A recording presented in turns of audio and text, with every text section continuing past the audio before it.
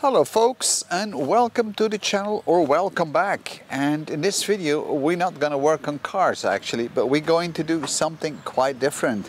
We're going to uh, look at the Chinese hedge trimmer compared to an Italian made hedge trimmer in the back of the tractor and you might remember in the previous season that we actually made a video on the Chinese hedge trimmer and all the bad things. So we're going to have a quick look back on that old hedge trimmer, the Chinese one, and then we're going to have a look on the new Italian hedge trimmer, and then we're going to do the adaptations and explain how you need to connect it to the tractor, and then finally we're going to test it.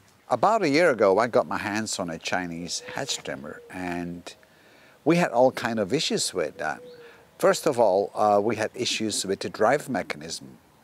That is the mechanism that was driving the knives or the blades, which are going back and forth. And that rod wore out in no time, so we would have to rebuild that rod completely.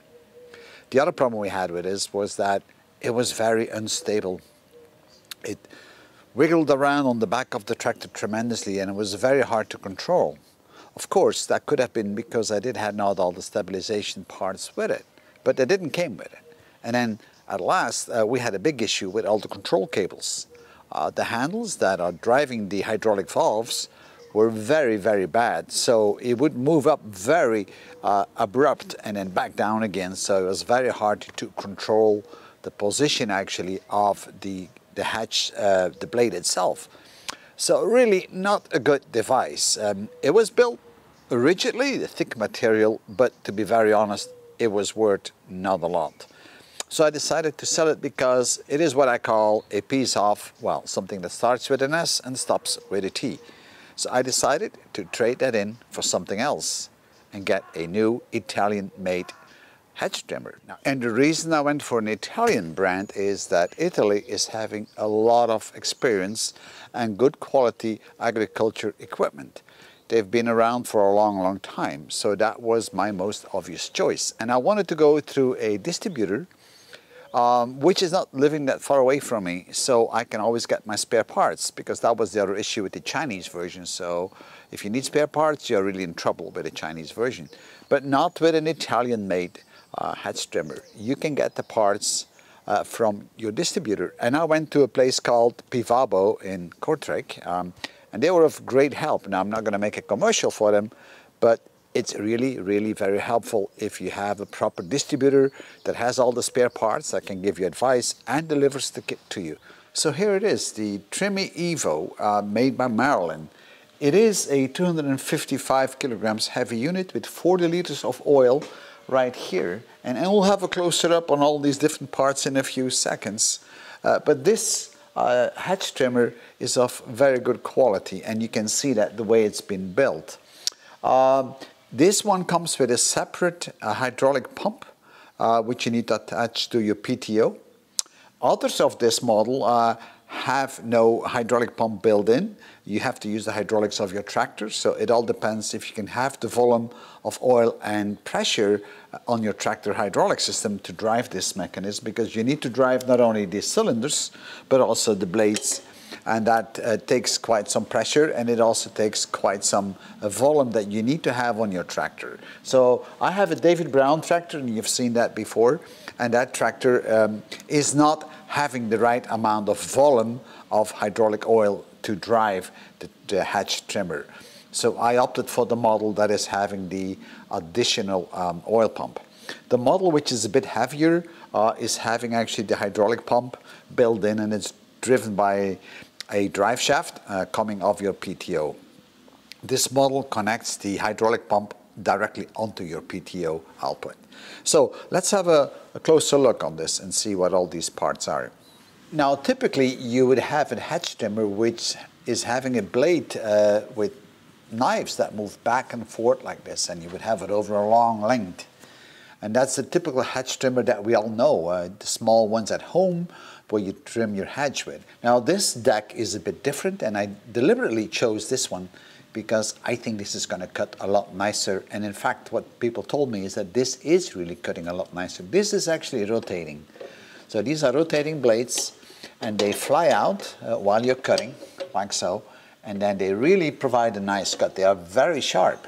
Not only do we have the cutting blades, but we also have additional teeth here which are actually going to mulch the parts that you're cutting off. So you're not going to have long branches laying on the ground once you've cut your hedge. It's going to be all pulverized by this blade here.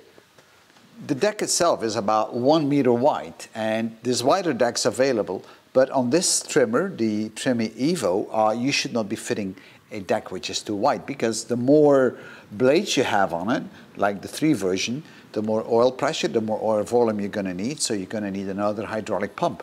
And uh, also it has to be overall a bit stronger. So the recommended deck for this Trimmy Evo um, Safe, this is, uh, is actually a one meter deck with two rotating uh, blade pairs.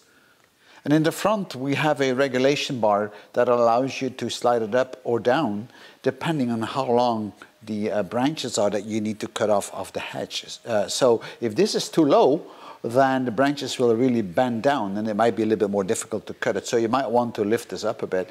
Typically, uh, you set it like halfway. And the deck is built with very thick steel and powder coated. And the thickness is about 5.3 millimeters. So this is uh, quite thick for a deck and it makes it very solid and rigid. And the blades are driven by this hydraulic motor and there's one motor for each of the blades. Uh, there is a greasing nipple in the front and this it's recommended to grease um, the spindle every time you're going to use it. It will extend the longevity of the bearings and the spindle itself. These are very high quality motors and you can actually see that on the connectors, the brand and also the cables that connect to it. The connections of the hydraulic system to the mowing deck is very solid as you can see and it's detachable on these big lugs here. Um, and the hoses by themselves, the hydraulic hoses, are of a great quality and by a well-known brand, which is called Forstream, and even protected with this uh, plastic shield. So you can see already that the build is very good. And, and this deck is also fitted with a adjustable head. So if you need to start cutting on very weird angles, then you can undo this big nut here and then this slides back a bit and this is a teeted uh, fitment so you, then you can rotate it and then lock it back into place. Obviously you can rotate the deck automatically with the hydraulic system, but uh, you will still need to adjust it sometimes uh, if you do weird or strange angles. All the hydraulic cylinders connected to the frame are having greasing nipples. Now it can be that while you're using it, the pistons are moving a bit too fast up and down, and that's why there is actually a reduction fitted on top of the cylinder, so you can actually adjust the opening of the oil going into the cylinder so it's going to move a bit slower back and forth. So this is a great thing to have. And in total we have three hydraulic pistons uh, for the movement of the arm. So you can move it in many different directions and for each of the pistons you do have a control handle. And what I really like about this mower is that it has a safety mechanism. So the deck is connected to this arm right here and it can pivot right here on this point. And if the deck is hitting something while you're driving, then the deck will be pushed backwards. It will pivot around this point, and then the spring will actually extend and stretch out. So you have a certain level of flexibility here if you hit something enough for you to stop. If you don't have this safety system, then you're going to break the system. It's going to crack somewhere if all this is solid. You're going to bend the frame or something like that. And here we have that pivoting point, and you can see this is the part uh, which is connected to the spring. And the spring tension can be adjusted, so this is what you can do right here on this adjustment. And that is not the golden key, it's actually a safety bar, so you can pull it out and put it back in, so whenever you're transporting the mower or driving along public roads, you lock it into place. Um, I like it the way they made it as a key, that looks pretty nice. And this is the base of the trimmer. Actually what it is, it's a 40 liter hydraulic oil container. It's fitted on legs so you can rest it on the ground. And it has a thermometer and also a level meter mounted on the side, which is a combination. It's the first time I see that actually. And then on the side we have our valve control block where all the cables uh, go into the handles. If the hydraulic oil is getting too low, just undo this bolt and then fill it up. This is just the vent for the hydraulic tank. I think this is a very nice feature. This is a combined thermometer and a level indicator of the hydraulic oil. So you can see where the hydraulic oil sits, so it's sitting halfway, so that's good. And then we can see inside a little thermometer and it's about 20 degrees centigrade. So it's going to give you both an indication of the temperature of the hydraulic oil and also the volume inside the container. And by the way, this is the company where I bought this device. Again, not that I'm making a commercial uh, for them, but they delivered a pretty good service. And here we have the complete valve block, uh, which is controlling the cylinders uh, uh, through handles, and these cables are going to the handles. You can also get an electronic system with a joystick. I don't have that one because it's more expensive, and I don't think it's necessary for the times I use it, but you can get it. So these are the cables for the uh, pistons, and then on the bottom you find all the cables actually going with the hydraulic oil to the uh, cylinders themselves, and that's what we call here the hydraulic valve block. There's a second one on the right hand side. This is actually used to engage the blades uh, on the deck. And here we have the control panel uh, fitted with levers. So each individual lever will be used for a different purpose to move different cylinders, B, A, and D. And then finally you have the lever to engage the blades or not.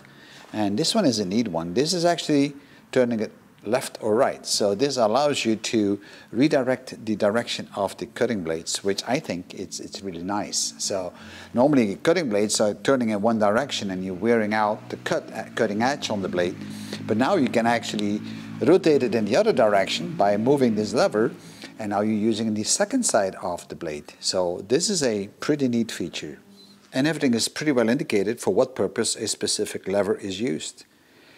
I do like the gaiters. The gaiters are really nice and rubbery and soft and, and they seem to seal very well. What a big difference with this Chinese uh, crap that I had before. So and here is the hydraulic pump and as you can see it's a separate unit that you need to attach to your PTO of your tractor. It's a very solid pump and it has a, a gear wheel case on the top which is filled with oil and there's even an hourglass to look at it how much oil you have inside. The hourglass is on the side, so you can actually see how much oil there is in the gearbox, uh, because this is a gearbox uh, which is driven by the PTO, and then the gearbox drive the actual pump on another uh, speed. The PTO speed is 540 RPMs, very typical, and on the top we have the vent. So now we'll have to install this pump onto the PTO, and to do so they have foreseen a bracket. And that is the mounting bracket that actually comes with the pump. And um, I don't think in my case this is uh, going to be usable, so I will have to make a new one. And that's all part of the second part we're going to do in this video is the adaptation. The unit itself connects to your lifting mechanism or your lifting arms of your tractor through these connectors. There are two of them, one on each side. Uh, you just unlock them like this and then you can remove it. And then you put your lifting arm right here in the middle. Now keep in mind that these are Cat 1 uh, bars uh, or 19 millimeter. So if your tractor is having Cat 2 lifting arms, uh, you will have to change that. Another element to be checked is that your lifting arms of your tractor should be able to get close enough so they can fit in between here. So this is 55 centimeters from left to right, so the lifting arms have to come in right here and they have to get close enough to each other. So check that out on your tractor because if that is not the case, then you may have to adjust some of your lifting arms. And the Trimmy comes with additional stabilization bars, which you normally should connect to your third point on your tractor. This is where they should go. They have a nice metal block that comes with it, but this may fit or may not fit onto your tractor. So this as well might require some adaptation. The stabilization is really required because you want to keep that unit in balance. You don't want it to wiggle back and forth. So use stabilization bars on yours as well. But keep in mind if you install them that then you cannot lower or raise anymore your lifting arms. You have to lock them in place. So folks, I think I've been talking enough about the Trimmy Evo. Um, we looked at the quality of it, we looked at the features, uh, we looked at all the parts that come with it. So I think this is really a great kit uh, and that Marolin really developed a very nice hatch trimmer. Of course, we haven't tested it, and, and we will very soon in this video. We're going to give it a try on an actual hatch and see how well it cuts. Uh, but before doing so, we will have to attach it to the tractor. Now, uh, when you buy these units, um, they will tell you that they are typically uh, purposed for a park tractor or a smaller farmer's tractor or what we call a garden tractor sometimes. So depending on the tractor you'll have, uh, you will have to do certain adaptations on the unit. Not really serious, but the good thing is that companies like Pivabo, uh, they distribute these uh, machines and they have throughout the country, they have different outlets um, or shops where they will actually fit it for you uh, and adapt it. I decided not to because I like to do my own adaptations and you probably know me who I am and why I like to do that because I like to be in control of things. It's probably one of my negative sides that I always want to be in control. Uh, so if you do it yourself, uh, then you can get a pretty serious discount. Uh, and that's what I did. Uh, so anyway, so now let's talk a little bit about the requirements of the tractor. So if you decide to buy a hatch trimmer, then you have to make sure that your tractor is matched up at least to the device you're getting. The Trimmy Evo that we have here uh, requires at least a tractor of 500 kilograms of weight or about 1100 pounds um, to be able to support that Trimmy in the back. So make sure that your tractor is more than 500 kilograms if you're going to use this type of a, a trimmer. If you use another one, a heavier one, you may need a bigger tractor. So keep that always in mind that you check that. The other thing you're going to need to be aware of is that the width of the wheels of the tractor um, are larger on a big tractor like this David Brown than what you would see normally on a park or garden tractor. So therefore, your lifting arms may be uh, too wide. Maybe you can't get them close enough. Maybe your lifting arms are a Cat 2 and the Evo Trimmy is a Cat 1. So you got to make sure that all these parts are going to fit and also make sure that your PTO is the right PTO and that you have 540 RPM. Now I would be very surprised if you didn't because that's a standard RPM for a tractor. So uh, if you're going to go for a trimmy or a hatch trimmer that has no autonomous hydraulic pump, so not its own pump, then you will have to rely on the hydraulic system of your tractor. And then you've got to make sure that you have sufficient oil flow and pressure. Now in my case, I don't have that issue because I have my own dedicated oil pump because I know that David Brown, being a 40-year-old tractor, isn't able to uh, deliver that amount of oil pressure and volume. So now it's time to start doing the adaptation. And that means we will have to adapt the oil pump onto the tractor. That's the first thing we'll have to do. So making sure that this oil pump is fixed properly to the tractor PTO, uh, not with a chain or a rope to hold it in place, but actually with a bracket. And the bracket that we have on that pump is actually not fitting uh, onto the back of this tractor. And you'll see that in a few seconds. Also, we'll have to make sure that the stabilization system is working. And again, the stabilization system that comes with the uh, Trimmy doesn't fit on this tractor. So we have a little bit of work to be done uh, to adapt these parts onto the tractor. And then finally, we'll have to install the control panel, the handles, in a suitable place on the tractor which is comfortable to be used. So there's a bit of work to be done, and that's typically the work that people do for you, but in this case, we will do it ourselves because it is not that complicated. So we're going to start with the oil pump. So let's try to fit the hydraulics pump. It goes nicely onto the PTO shaft, but as you can see, um, the bracket is against this bar. So now we'll need to adjust this bracket or we build a new bracket. And the bracket on this side is not long enough anyway. So what I think I'm going to be doing is, is making a new bracket that will span from left to right that I can bolt down onto this and then that will be very solid. So let's see um, if this is doable or not. I'm going to disconnect the bracket from the gearbox of the oil pump and I'm going to use it as a template. Because that makes it very handy to create a new bracket. And to make the new bracket, I'm going to use a piece of metal which is more or less the same size of that original bracket. And I'm going to use that original bracket as kind of a template to cut out the arc and make the holes. With everything marked, so now I'm going to cut out the arc that goes around the axle of the pump. And uh, you can cut this out the way you want. You can use a hacksaw, you can use a grinder, whatever you want. I'm just going to use a El Cheapo plasma torch. It works pretty well. You might have seen a video on this before. So um, let's start.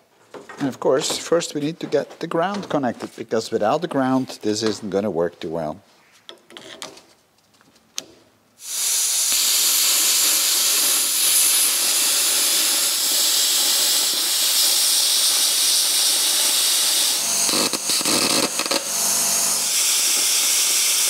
So now we're going to clean this up because I'm not the real professional plasma cutter.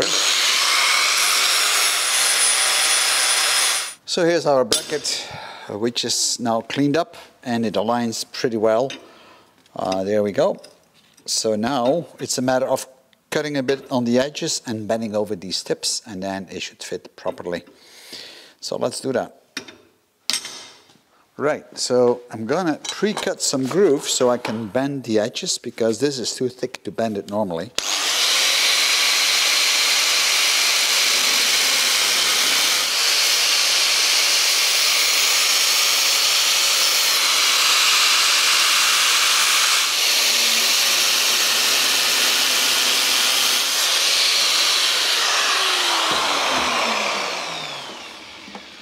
So we have cut the grooves and now I can bend it. I'm just going to tighten it up so it's easier to bend. All right, so this is the bracket that we just created. We still have to drill the holes, we still have to weld up the corners, but it doesn't really matter. At this moment in time, I just want to see if it's going to fit. And this is just going to fit just nicely. So now I'm going to drill the holes so we can mount the pump, and then I will make the necessary holes on the side actually to mount it to the side here. And that should be it. Before we drill the holes, uh, let's see what the bolt is. And the bolt is a 10 mil, so we'll drill holes of 10 millimeters.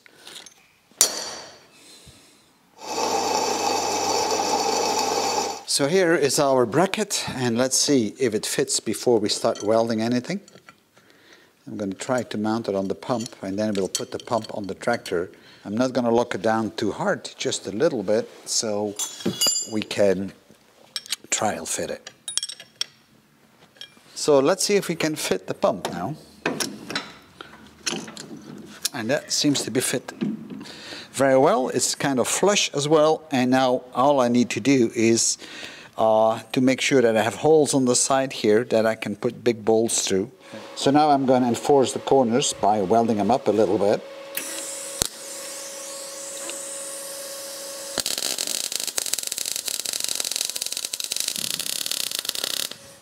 And of course we're going to give it a little bit of paint because we don't want this to go rusty. There we go.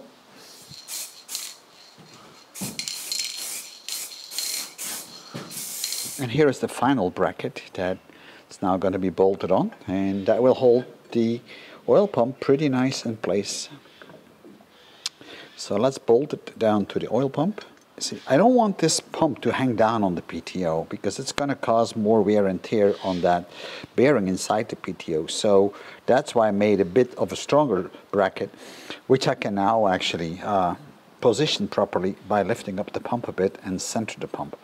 Now I'm having these big bolts that will go through the side. And you might have seen that I didn't have a proper uh, hole in the sides. Uh, and that I don't have actually a full washer that I can put. So I have cut off the washers a bit uh, on the side here uh, for those that go in here. Here we go. And the other side is exactly the same. Now these are pretty big bolts, but I didn't want it to rattle, so um, that's what we do. Big washers, put the nut up, and then we tighten it all up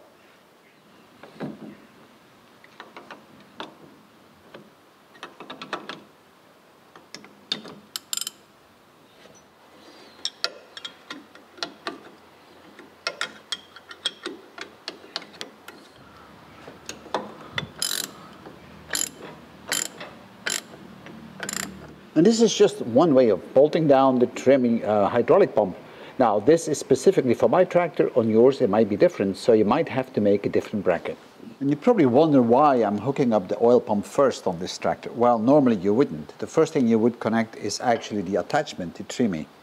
Uh, but in my case, the wheels are too wide. And in fact, the way they packed the trimming on the pallet is that one of the wheels is actually coming against the uh, mowing deck uh, or the cutting deck. And, and I can't get close enough to the attachments here. So what I will need to do first now is to start the tractor uh, get the oil pump to run, and then lift up the arm and move that mowing deck or the uh, cutting deck a bit away. So that's what I'm going to do first of all. And that's why I first connected up the oil pump.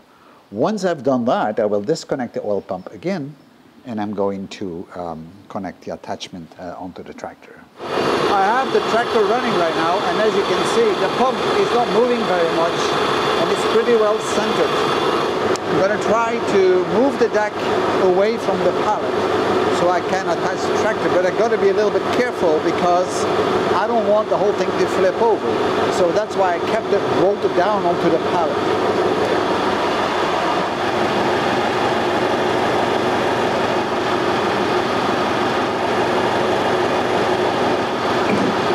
So that worked pretty well. So now the next step is now uh, to position the tractor so I can connect it to the Trimmy on the lifting arms, and then we connect the third point, and then we'll have to put the stabilization on, and then finally uh, we will install the handles. Um, but first of all, I need to disconnect the oil pump again.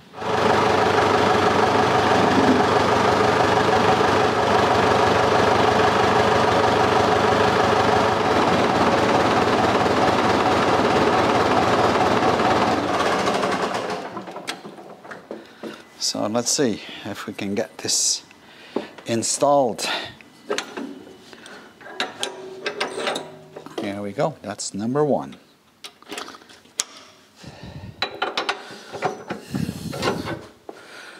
Here we go. Now that we have secured the lifting arms, uh, we're going to refit the oil pump.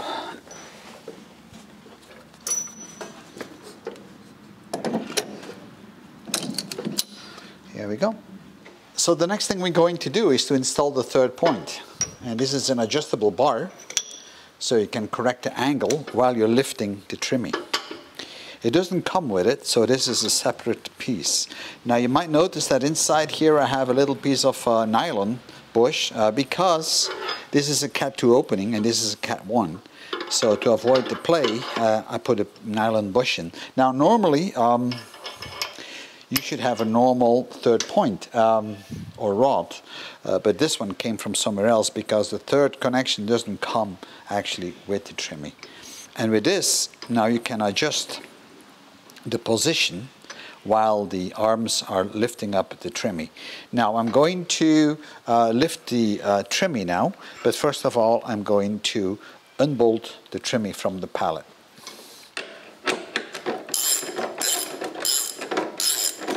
So now we can uh, move the Trimmy uh, to the level we really want to have it for working. So let's try that and see. I'm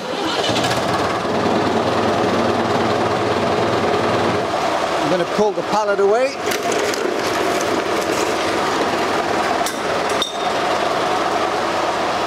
So now with everything connected and the trimming at the right height, um, let's see if uh, we can get the blades to turn.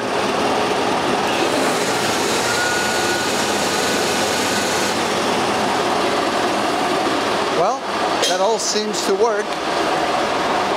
Now that we have the trimmy on the height we want to have it, uh, I'm going to start putting in the stabilization bars because that is kind of important to keep it all stable. I have used the stabilization bars that come with the Trimmy to hold down the, the, lifting arms. Now normally they should be going to the edge of the Trimmy, but um, they were not long enough, so I decided to install them here, which is as good. So that will prevent anything moving up or down once uh, the Trimmy is on height. The only thing I will have to do is when I'm going to lower the Trimmy, I will have to disconnect the top part. Um, and that's only when I'm going to park it.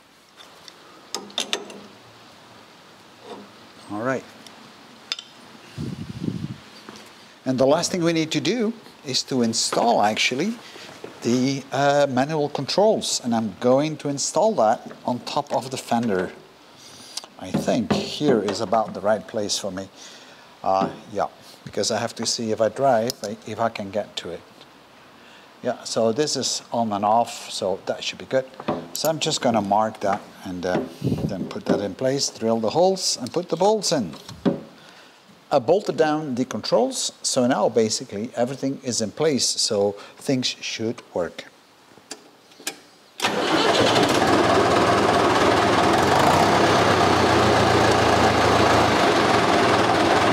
let's see if we can move things up or not.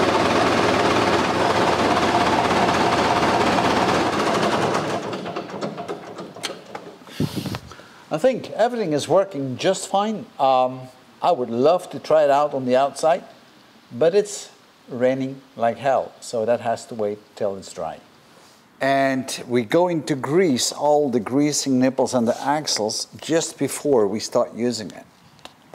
Although it should be greased from the factory, but then again, you never know. And don't forget to grease the spindles each time you're going to use the trimmer. So we're going to try to trim this hatch a little bit. We're going to do it on the top and then I'm going to do it on the sides and then on the vertical side as well. Now this hatch is pretty wild and some branches are, as you can see, pretty long, others are uh, shorter. So it's a kind of a mix, but it's a very tough hatch. So uh, let's try it out and see how powerful the Trimmy really is in dealing with this kind of a hatch. So folks, I've turned off the sound because the tractor is pretty loud, so this is a voiceover. I'm just getting ready to start cutting that uh, hatch around the farm, just as a trial. And first of all, I'm trying the handles. Now this is going to look a little bit jerky, but that's just because uh, I accelerated the video not to, to spend too much time. So I'm just testing the firmness of the handles and how well the boom is reacting to it. And this is working pretty well. Now don't be shocked when you see it uh, moving back and forth a bit. That's just because of the acceleration. I think I've done it times two and a half. Uh, but you can see that the trim itself, the body isn't moving a lot. Now here I'm actually trimming the side of the edge hedge and it's a bit difficult to be honest on an uneven ground because sometimes it slides in a bit deeper as just now um, so you have to keep on adjusting.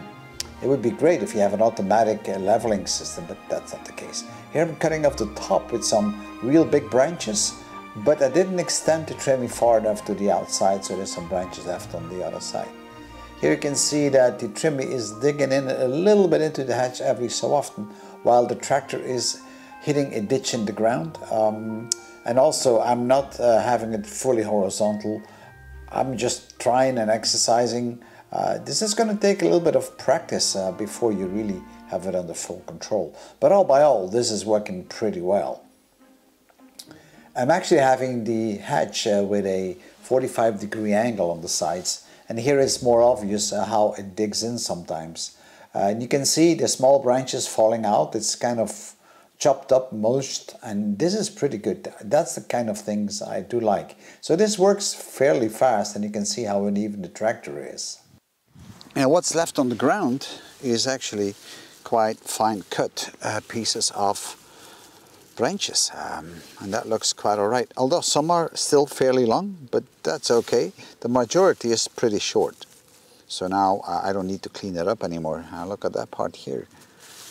And while we were cutting we ended up at around 40 degrees uh, centigrade or about 100 degrees Fahrenheit and that was actually at the moment we were cutting the real thick branches and I have cut especially a bit deep and you can see how you were able to slice these branches with a very clean cut.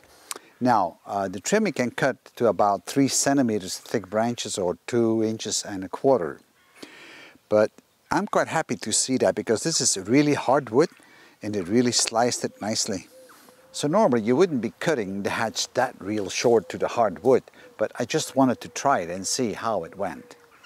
Now, if you're looking for a very precise cut hatch, I mean straight, square, all that, um, and you have an uneven ground, then this is not going to work with the Trimmy, uh, honestly.